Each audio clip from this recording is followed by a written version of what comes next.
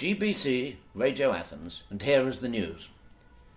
With the royal wedding only a week away, excitement is building as preparations are in full swing for the big event.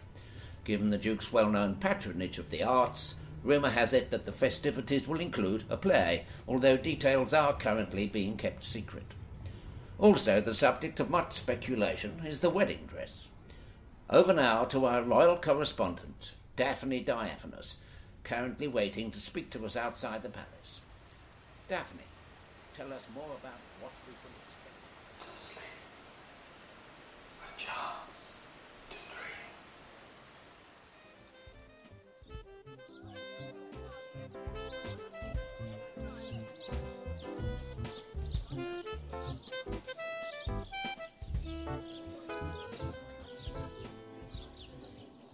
Now, fair Hippolyta, our nuptial hour draws on apace. Four happy days brings in another moon, but oh, methinks how slow this old moon wanes. She lingers my desires like to a stepdame or a dowager, long withering out a young man revenue. Four days will quickly steep themselves in night. Four nights will quickly dream away the time. And then the moon, like to a silver bow new bent in heaven, shall behold the night of our solemnities. Go, Philostrate, stir up the Athenian youth to merriments, awake the pert and nimble spirit of mirth, turn melancholy forth to funerals. The pale companion is not for our pomp. Hippolyta, I wooed thee with my sword and won thy love doing thee injuries. But I will wed thee in another key, with pomp, with triumph, and with revelling. Happy be Theseus, our renowned duke. Ah, thanks, good Egeus. What news with thee? Full of vexation I come, with complaint against my child, my daughter Hermia. Stand forth, Demetrius. My noble lord, this man hath my consent to marry her. Stand forth, Lysander. And my gracious duke, this man hath bewitched the bosom of my child. Thou, thou, Lysander, thou hast given her rhymes and interchanged love tokens with my child. Thou hast by moonlight at her window sung with feigning voice verses of feigning love and stolen the impression of her fantasy with bracelets of thy hair, rings, gauds, conceits, knacks, trifles, nosegays, sweetmeats, messengers of strong prevailment in unhardened youth. With cunning thou hast filched my daughter's heart, turned her obedience, which is due to me, to stubborn harshness. And, my gracious Duke, be it so, she will not here before your grace consent to marry with Demetrius. I beg the ancient privilege of Athens, as she is mine, I may dispose of her, which shall be either to this gentleman or to her death, according to our law. What say you, Hermia? Be advised, fair maid, to you your father should be as a god, one that composed your beauties, yea, and one to whom you are but as a form in wax, by him imprinted and within his power to leave the figure or disfigure it. Demetrius is a worthy gentleman. So is Lysander? In himself he is, but in this kind, wanting your father's voice, the other must be held the worthier. I would my father looked but with my eyes. Rather, your eyes must with his judgment look. I do entreat your grace to pardon me. I know not by what power I am made bold, nor how it may concern my modesty in such a presence here to plead my thoughts. But I beseech your grace that I may know the worst that may befall me in this case, if I refuse to wed Demetrius. Either to die the death, or to abjure forever the society of men. Therefore, fair Hermia, question your desires. Know of your youth, examine well your blood, whether, if you yield not to your father's choice, you can endure the livery of a nun. For I to be in a shady cloister mewed, to live a barren sister all your life, chanting faint hymns to the cold, fruitless moon. Thrice blessed they that master so their blood to undergo such maiden pilgrimage. But earthlier happy is the rose distilled, than that which withering on the virgin thorn grows, lives, and dies in single blessedness. So will I grow, so live, so die, my lord, ere I will my virgin patent up unto his lordship, whose unwished yoke my soul consents not to give sovereignty. Take time to pause, and by the next new moon, the sealing day betwixt my love and me, upon that day either prepare to die for disobedience to your father's will, or else to wed Demetrius as he would, or on Diana's altar to protest for austerity and single life. Relent, sweet Hermia, and Lysander, yield thy crazed title to my certain right. You have her father's love, Demetrius. Let me have Hermia's. Do you marry him? That's scornful, Lysander. Ah. True, he hath my love, and what is mine, my love shall render him. And she is mine. And all my right of her I do estate unto Demetrius. I am, my lord, as well derived as he, as well possessed, but my love is more than his. My fortunes every way is fairly ranked, if not with vantage as Demetrius's, and, which is more than all these boasts can be, I am beloved of beauteous Hermia. Why should not I then prosecute my right? Demetrius, I'll avouch it to his head, made love to Nedar's daughter, Helena, and won her soul, and she, sweet lady, dotes, devoutly dotes, dotes in idolatry upon this spotted and inconstant man. I must confess that I have heard so much, and with Demetrius thought to have spoke thereof, but being over full of self affairs, my mind did lose it.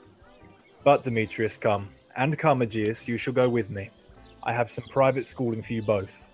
For you, fair Hermia, look you arm yourself to fit your fancies to your father's will, or else the law of Athens yields you up, which by no means we may accentuate, to death, or to a vow of single life. Come, my Hippolyta, what cheer, my love? Demetrius and Egeus, go along. I must employ you in some business against our nuptial and confer with you of something nearly that concerns yourselves. With duty and desire, we follow you. How now, my love? Why is your cheek so pale? How chance the roses there do fade so fast? For want of rain, which I could well allow them from the tempest of my eyes. Ay me! For aught that I could ever read, could ever hear by tale or history, the course of true love never did run smooth, but either it was different in blood, Oh, cross too high to be enthralled too low. or else misgraft in respect of years, Or spite too old to be engaged too young. or else it stood upon the choice of friends. Oh, hell to choose love by another's eyes. Or if there were sympathy and choice, war, death, or sickness did lay siege to it, making it swift as a shadow, short as any dream. And here a man hath the power to say, Behold, the jaws of darkness do devour it up. Oh, so quick bright things come to confusion. If then true lovers have been ever crossed, it stands as an edict in destiny. Yes, of course. Then let us teach our child patience, because it is a customary cross, as due to love as thoughts and dreams and sighs, wishes and tears, poor fancy's followers. Aye, a good persuasion. Therefore, hear me, Hermia. I have a widow aunt, a dowager of great revenue, and she hath no child. Uh, From Athens is her house, remote seven leagues, and she respects me as her only son.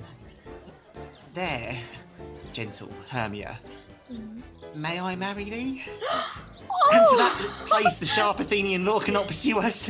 Oh, If thou lovest me, then steal forth thy father's house tomorrow night, and in that place, a league without the town, where I did meet thee once with Helena, there I stay for thee.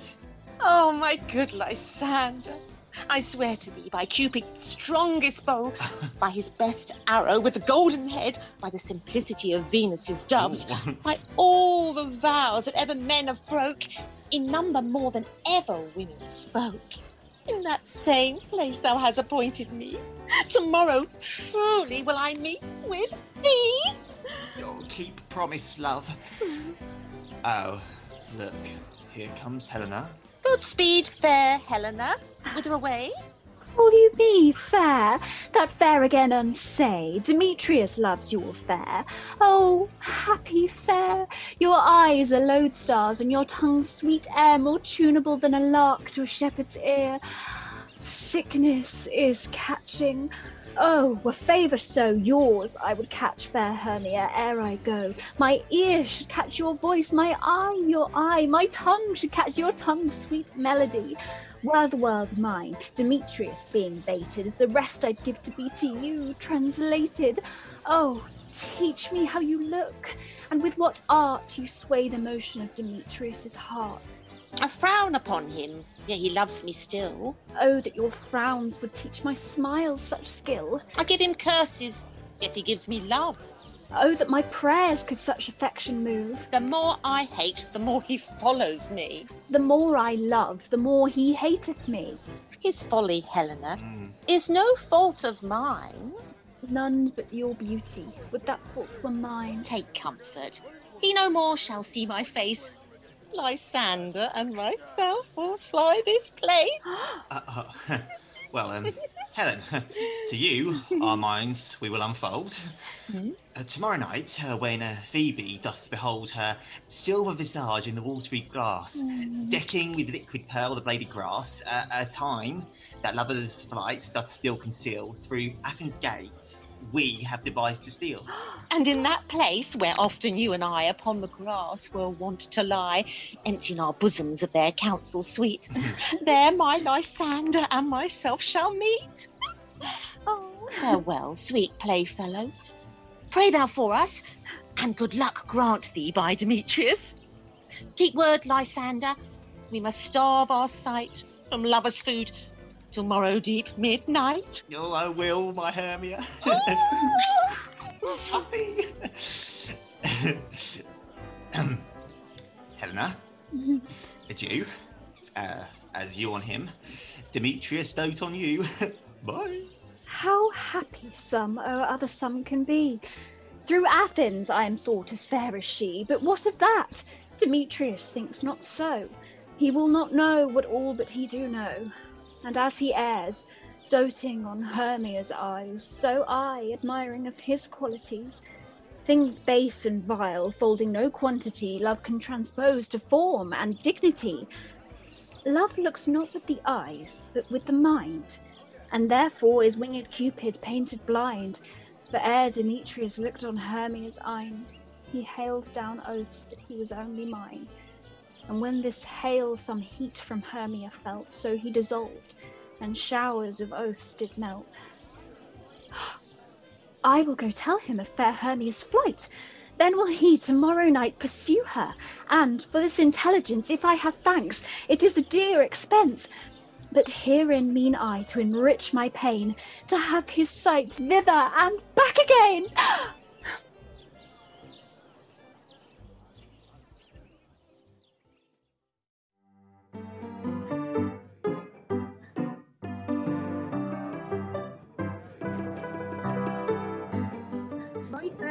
I is- see. Is all our company here? What's this about You're best to call them generally man by man, according to the script. Here is the scroll of every man's name, which is thought fit through all Athens to play in our interlude before the Duke and the oh. Duchess on his wedding day at night. First, good Penelope Quince.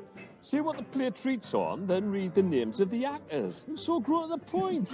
Mary, our play is the most lamentable comedy mm-hmm. and the most cruel death of oh. Pyramus and Thisbe. Oh.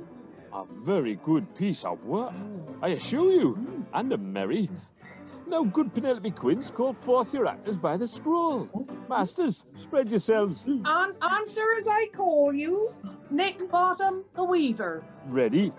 Name what part I'm for, and then proceed. You, Nick Bottom, are set down for Pyramus, What is Pyramus? A lover or a tyrant? a lover that kills himself most gallant for love. Oh, that will last some tears in the true performing of it. If I do it, let the audience look to their eyes. I will move storms. I will condole them in some measure. As to the rest, my chief humour is for tyrant. I could play Hercules really, or a part of Terracotta to make all split. The raging rocks and shivering shocks shall break the locks of prison gates, and Phoebus' car shall shine from far and make and mar the foolish fates. This was lofty, Now name the rest of the players. Uh, this is Hercules, Vienna. He's a tyrant's Vienna. A lover is more condoling.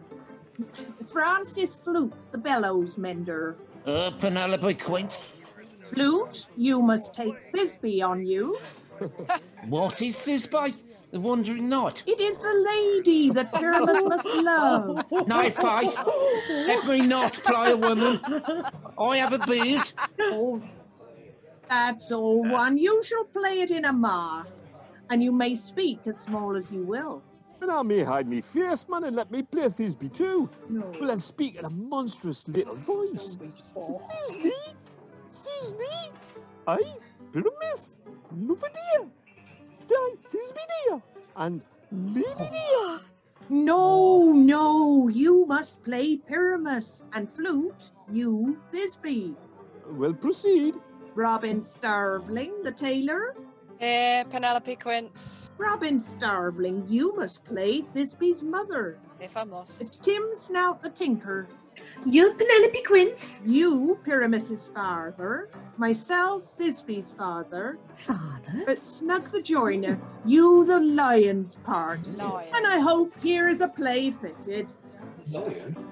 Uh, have you the lion's part written? Uh, pray you, if it be, give it me, for I am slow of study. You may do it extempore, for it is nothing but roaring. Let me play the lion too. Well, I will roar that I will do any man's heart good to hear me. But I will roar that I will make a juice here. Let him roar again. Let him roar again. And you should do it too terribly. You would fright the Duchess and the ladies that they would shriek. And that were enough to hang us all. Uh, that would hang us all. Hang us. Every mother's son. I grant you, friends, that if you should fright the ladies out of their wits, they would have no more discretion but to hang us. But I will aggravate my voice so that I will roar you as gently as any suckling dove. I will roar you at were any nightingale. You can play no part but Pyramus. For Pyramus is a sweet faced man, a proper man as one shall see on a summer's day, a most lovely gentlemanlike man. Therefore, you must needs play Pyramus. Well, I, I will undertake it. Uh, what beard were best to play it in? Why, what you will. I will discharge it in either your straw-coloured beard, Here we go. your t- orange tawny beard, your purple and green beard, or your French crown-coloured beard, you perfect yellow man. Oh, oh, some of your French Oh, crowns man. have no hair at all. And then you will play barefaced. But, masters, here are your parts, and I am to entreat you, request you, and desire you to learn them by tomorrow night. Tomorrow. And meet me in the palace gardens a mile without the town by moonlight. Hmm. There we will rehearse. For if we meet in the city, we shall be dogged with company and our devices known. In the meantime, I will draw a bill of properties such as our play wants. I pray you, fail me not. We will meet, and there we may rehearse most obscenely and courageously. Take pains, be perfect. Adieu. At the Duke's head we meet. Enough. Hold or cut bowstrings.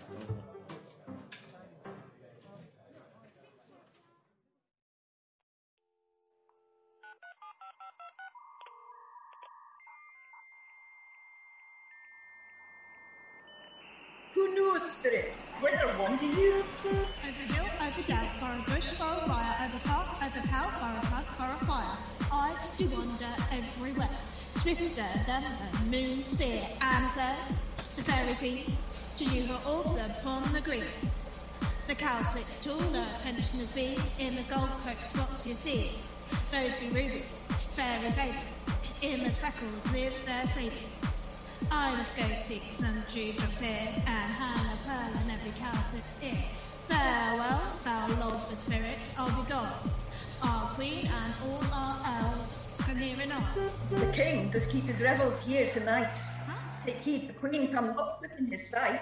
For Oberon is passing pale and wroth, because that she is her attendant as a lovely boy, stolen from an Indian king, for she never had so sweet a changeling. And jealous Oberon would have the child. Ah. And she, perforce, withholds the loved boy, croons him with flowers and makes him all her joy. And no, they never meet upon the green, by fountain clear or spangled starlight sheen, but they do square. All their elves for fear creep into acorn cups and hide them there. Either I mistake the shape of making quite, or else you are that shrewd and knavish sprite called Robin Goodfellow. are you not he that frights the maidens of the villagery, skim milk, and sometimes labour in the quern, and bootless make the breathless housewife churn, and sometimes make the drink bear no balm, misty night wanderers laughing at their harm, those that hobgoblin call you and sweetheart, you do their work, and they shall have good luck. Are you? Um, Aye, I'll speak to I. I am that merry wanderer of the night. I jest Oberon and makes him smile when I of fat and bean-fed horse beguile, neighing in likeness of a filly foal. Sometime lurk I in a gossip's bowl in very likeness of a roasted crab. and when she drinks, against her lips I bob, and on her with the dewlap pour the ale. Oh, Wisest aunt telling the saddest tale. Sometime for three foot stool mistaketh me. Oh, then slip I from her bum, soon topples she, and Taylor cries and falls into a cough. And then the whole choir hold their heads and laugh, and Latin in their mouth, and sneeze, and swear a merrier oor was never wasted there. Boom, fairy, here comes Oberon. And here's my mistress. Would that he were gone. Ill met by moonlight, proud Titania. But jealous Oberon, fairy skip hence. I have forsworn his bed and company. Tarry, rash wanton, am not I thy lord? Then I must be thy lady. Why art thou here, come from the farthest step of India? But that forsooth the bouncing Amazon, your buskined mistress and your warrior, loved Theseus, must be wedded, and you come to give their bed joy and prosperity. How canst thou thus for shame, Titania, glance at my credit with Hippolyta, knowing I know thy love to Theseus? Didst thou not lead him through the glimmering night from Perigenia, whom he ravished, and make him with fair Eagle break his faith with Ariadne and Antiopa? These are the forgeries of jealousy, and with thy brawls thou hast disturbed our sport. Therefore the winds, piping to us in vain, as in revenge, have sucked up from the sea contagious fogs, which fallen in the land have every pelting river made so proud that they have overborne their continents. The ox hath therefore stretched his yoke in vain, the ploughman lost his sweat, and the green corn hath rotted ere his youth attained a beard. The fold stands empty in the drowned field, and the crows are fatted with the Murrian flock. The nine men's morris is filled up with mud, and the quaint mazes in the wanton green for lack of tread are undistinguishable. The human mortals want their winter here.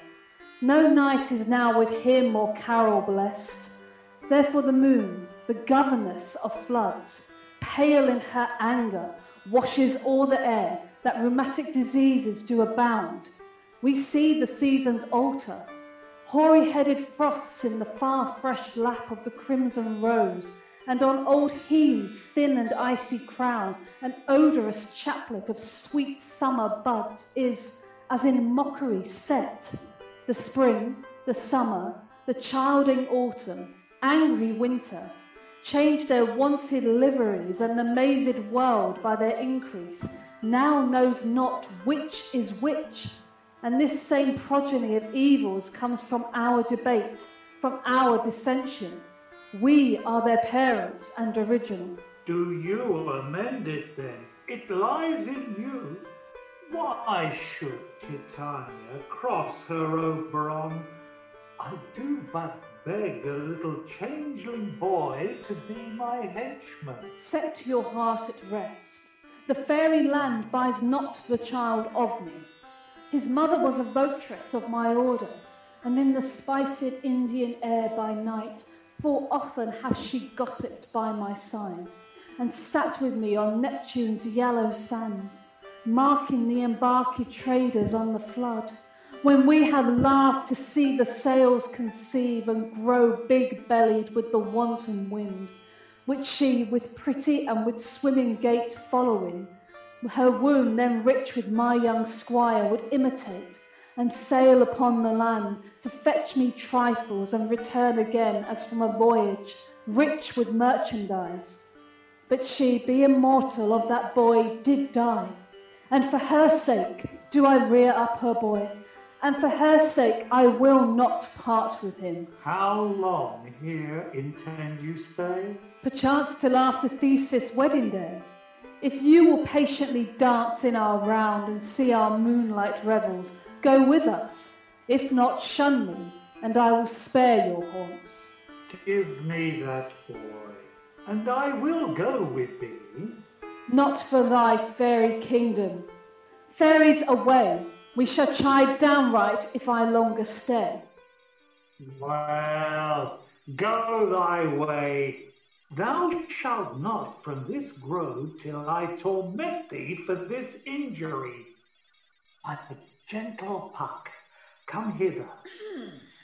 Thou rememberest since once I sat upon a promontory and heard a mermaid on a dolphin's back uttering such dulcet and harmonious breath that the rude sea grew civil at her song, mm-hmm. and certain stars shot madly from their spheres to hear the sea maid's music. I remember.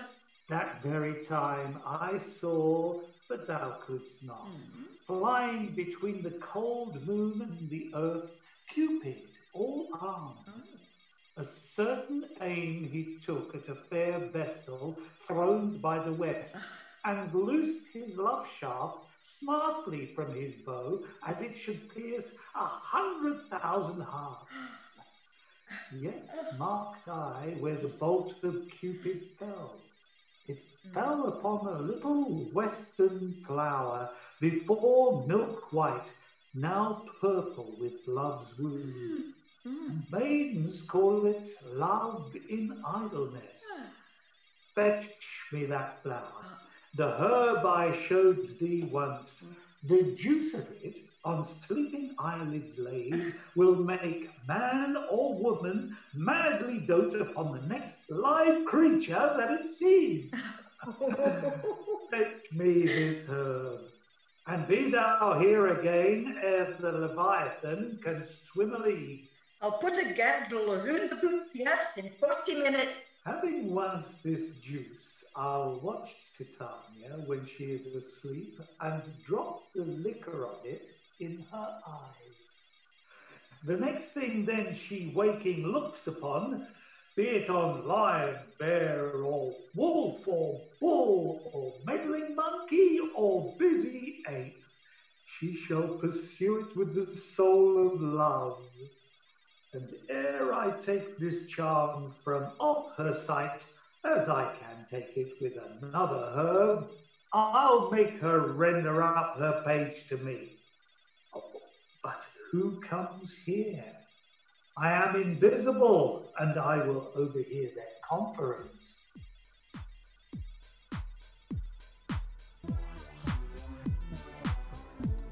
I love thee not, therefore pursue me not.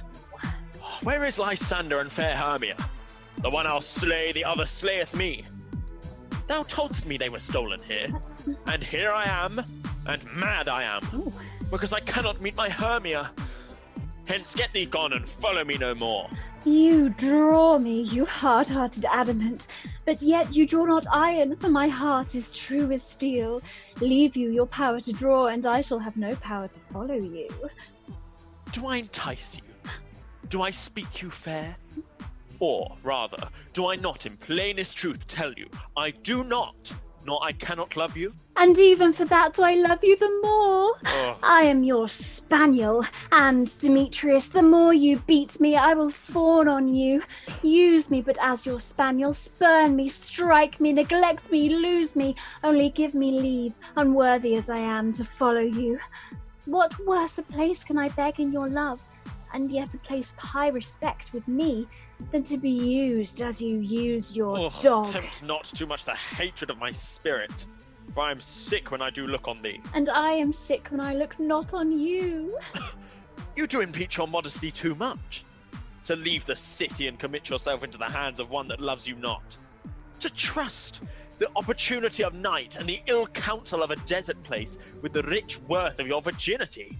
Your virtue is my privilege, Oh. but ah. that it is not night when I do see your face. Therefore, I think I am not in the night, nor doth this place lack worlds of company. For you, in my respect, are all the world. And how can it be said I am alone when all the world is here to look on me? I'll run from thee and hide me, and leave thee to the mercy of wild beasts. The wildest hath not such a heart as you. Run when you will, the story shall be changed. Apollo flies, and Daphne holds the chase. The dove pursues the griffin. The mild hind makes speed to catch the tiger. Bootless speed when cowardice pursues and valor flies. I will not stay thy questions. Let me go. Or, if thou follow me, do not believe it, I shall do thee mischief. Aye, in the temple, the town, the field, you Oh. do me mischief. Fie, Demetrius. Your wrongs do set a scandal on my sex. We cannot fight for love as men may do. We should be wooed, and we're not made to woo. I'll follow thee and make a heaven of hell to die upon the hand I love so well. Fare thee well, nymph. Ere he do leave here, thou shalt fly him, and he shall seek thy love. ah, hast thou the flower there? Welcome, wanderer. Aye, there it is. I pray thee, give it me. I know a bank where the wild thyme blows, where oxlips and the nodding violet grows. And with the juice of this I'll streak her eyes and make her full of hateful fantasies. Take thou some of it and seek through this grove. A sweet Athenian lady is in love with a disdainful youth. Anoint his eyes, but do it when the next thing he espies may be the lady. Ah. Thou shalt know the man by the Athenian garments he hath on. Mm-hmm. Effects it with some care, that he may prove more fond on her than she upon her love. Ah. And look thou meet me ere the first cock crow. Fear not, my lord, your servant shall do so.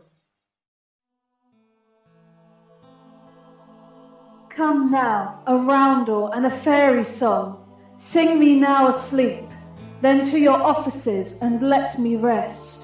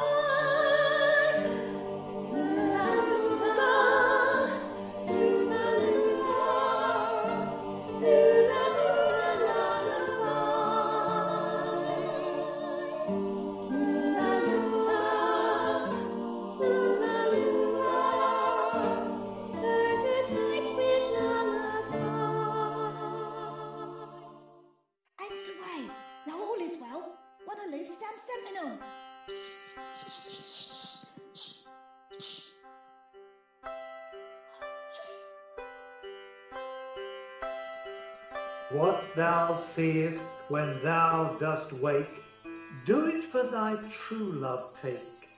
Love and languish for his sake. Be it ounce or cat or bear, lion or boar with bristled hair, in thy eye that shall appear when thou wakest. It is thy dear. Wake when some vile thing is Oh, fair love. you faint with wandering. and uh, to speak truth, I've uh, forgot our way. uh, Well, rest us, Hermia, if you think it good, and uh, tarry for the comfort of the day. Be it so, Lysander. Find you out of bed, for upon this bench will I rest my head. One bench shall serve a pillow for us both. One heart, one bed, two bosoms, and one troth. Nay, good Lysander, for my sake, my dear, lie further off yet. Do not lie so near. Oh, take the sense, sweet of my innocence. Uh, love takes the meaning in love's conference. Uh, I mean that my heart unto yours is knit so that uh, one heart we can make of it. Two bosoms interchange with an oath, so then two bosoms and a single troth. And then by your side, no bedroom me deny, for lying so, Hermia, I do not lie. Lysander riddles very prettily.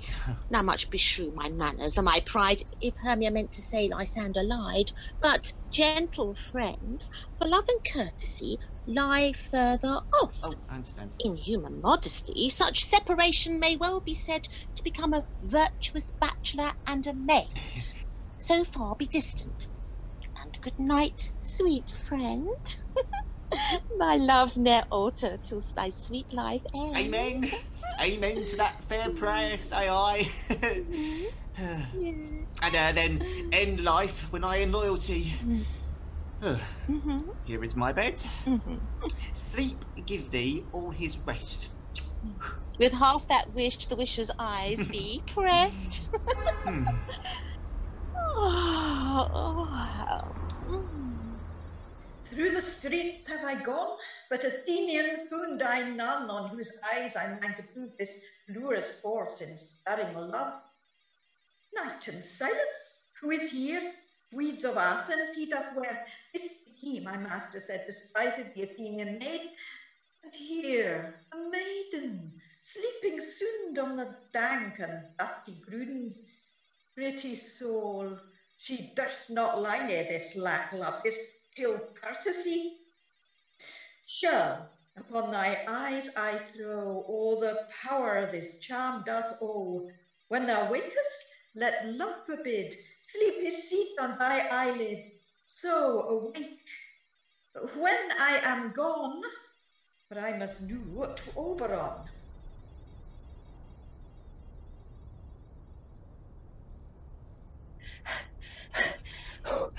Stay! There thou kill me, sweet Demetrius. I charge thee, hence, and do not haunt me thus. Oh, wilt thou, darkling, leave me? Do not so. Stay on thy pedal. I alone will go. Oh, I am out of breath in this fond chase. The more my prayer, the lesser is my grace. Happy is Hermia, wheresoe'er she lies, for she hath blessed and attractive eyes. How came her eyes so bright? Not with salt tears, if so my eyes are oftener washed than hers. No, no, I am as ugly as a bear. For beasts that meet me run away for fear, therefore no marvel though Demetrius do, as a monster, fly my presence thus. What wicked and dissembling glass of mine made me compare with Hermia's fiery eyne? Oh, but who is here? Lysander, on the ground, dead, or asleep. Um, I-, I see no blood, no wound. Lysander, if you live, good sir, awake.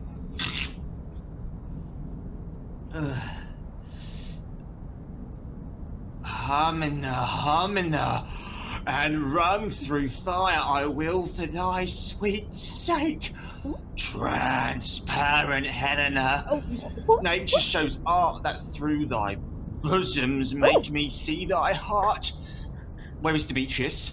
Oh, how fit a word is that vile name to perish upon my sword. Uh, uh, do not say so, Lysander. So what though he love your Hermia? Lord, what though? Yet Hermia still loves you, then be content. Content with Hermia? no, I do repent the tedious minutes uh, with her I have spent. Not Hermia, but Helena, I love. Who will not uh, change a raven for a dove? the will of man is by reason swayed, and reason says that you are the worthier mate. Reason becomes the marshal of my will and leads me to your eyes, where I overlooked love stories written in love's books.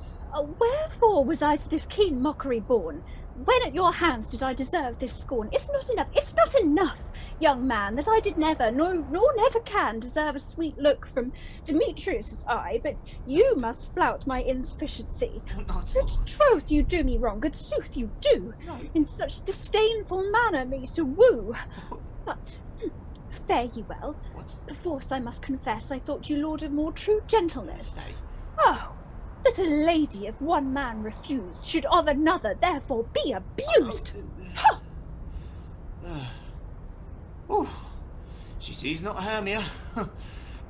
Hermia, sleep thou there, and never mayst thou come Lysander near, for as surfeit of the sweetest things, the deepest loathing to the stomach brings, or as ties heresies that man do leave are hated, most of those they did deceive. So thou, my surfeit, and my heresy, of all be hated, but by the most of me.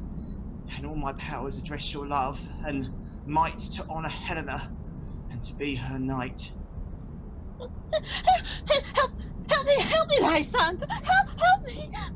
Did I better pluck this crawling serpent from my breast? Ah, me! The pity! What a dream was here! Oh, Lysander, look how I do quake with fear!